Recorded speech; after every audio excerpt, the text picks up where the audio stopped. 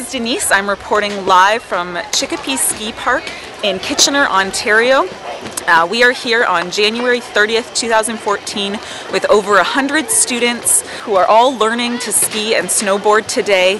Many of them have never attempted this before, uh, so this has been a very adventurous day for a lot of them. As you can see behind me, there are many students here. We started on the far hill over there, learning how to stop and turn, and they've slowly been able to work their way up to a slightly larger hill, and then the real hills over here.